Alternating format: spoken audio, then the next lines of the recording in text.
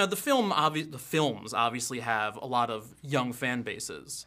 But you know, my father introduced this to me. To me, this is like the baby boomer movie to like make up for all those Dracula films. you keep that that that idea, that comedy in there. There's Geritol references in the TV show, Sure. so on and so forth. Do you feel that you have to like try and stay away from placating to a younger audience and keep everybody entwined in this?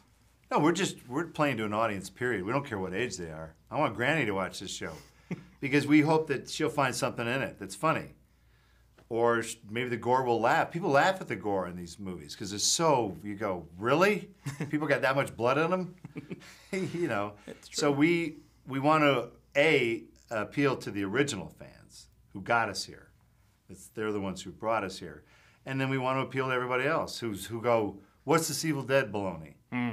You know, when we get them, we want them to come in. So if you like horror, stop by. and if you like comedy, stop by because you, maybe you like one or the other. You might not like gore, but maybe it's a funny show. Something for everybody. Something for everybody. Yeah. Um, I was actually hoping you can clear something up for me because I remember I, I bought one of those, you know, Book of the Dead versions of the DVD and The realized the 86 writing. versions of Yeah, it. yeah, yeah, and realized that the writing in there was basically just graffiti of English letters. Mm-hmm. And I looked back and paused Evil Dead 2 and noticed that I took a screenshot just in case. You're The, getting pretty pretty fancy the uh, portal spell actually says somebody's name and then says, pardon my French, is an asshole and go fuck himself. Whose name was it? I don't know. I can't figure it out. So maybe you'd know. Uh, well, this is Tom Sullivan, the great Tom Sullivan, who did the first special effects for Evil Dead. Yeah. And he's an artist, first and foremost. So he he created the book. That was his design.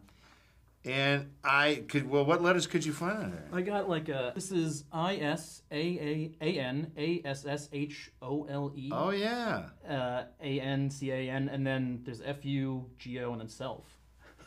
Wow.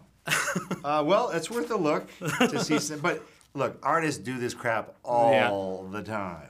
They, they embed little secret messages to go, ooh, look at I did that. You know, that's fine. That's what I was wondering if anybody. It was like something you guys No, planned no, you're or- the first one who brought that one up. Interesting. Interesting. But it doesn't mean it's not true. It, it could very likely be the case. I'll hunt him down and find out. Tom Sullivan, next time you see him, ask him who the asshole was. I'm gonna find out. I'm gonna figure it out. Is Sam different when he's doing TV compared to film? No, but he just has to move faster. Yeah. You know, Sam Raimi's sets don't fly along because they're so complicated. The shots are so complex. takes a long time to set up, a long time to figure it out, and then you get it, and you move on to the next complicated shot. uh, television is the same, but it's the fastest he's ever had to move, only because you got to, you know, we have parameters. It's not a feature. You can't just go forever. Yeah. So that was new to him. But Rob and I are TV guys, Rob Tapert. And so we, you know, we, we could sort of poke him and prod him and tell him how to simplify stuff. And uh, it worked out fine because we all know we all know this world so much that it wasn't that hard to do. Well, are you noticing the changes in the TV world? I mean, Burn Notice is also one of those TV shows that started kind of this new revolution, and you've done before that. Are you seeing like the change in how these you know world is coming out? Well, TV is now giving you all the options. If you want to get something made, go to television. Screw the feature business. You know, they're, they're busy with their $300 million movies. They don't really care about any other movies there in the feature side of it. So TV picks up all the slack. TV is the B movies. TV is the, you know, you got your sci fi channel. Uh, TV is all the really classy stuff now. As classy as any movie. You know, you got your Fargos that are getting incredible reviews, and uh, you know your, good God, your Mad Men's and things like that. They changed the face of television. Thank God. Thank Te- God. television blew.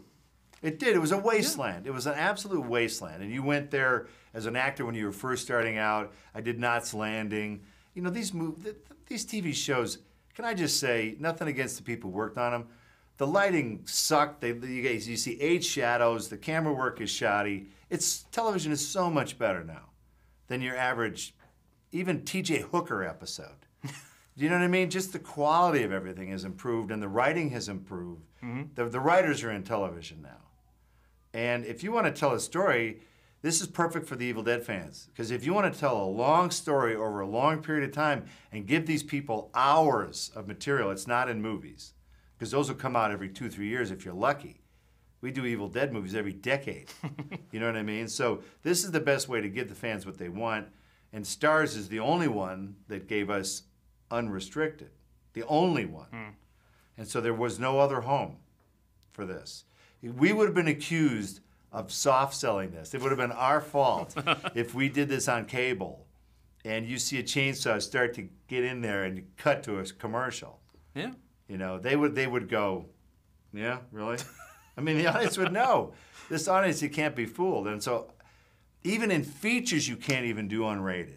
I mean, the first two Evil Dead movies are unrated, but it that causes problems because a lot of times you can't put it on TV. Mm-hmm.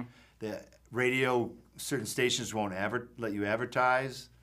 You know, if it's unrated, because that's the way you can tell whether it's a decent movie or not. Well, we're finally back to being. This is unrated TV. How far do we have to wait for that? Three, I think, is where we meet. Okay. I Yeah, believe. yeah, yeah, In episode three. Episode three. Uh, and then, then it's a road trip. We're literally stalking Ash and his loser buddies. I think that's the, I think that's the official term for them. Loser buddies. Yeah. Because Hashtag hashtag loser buddies. Yeah.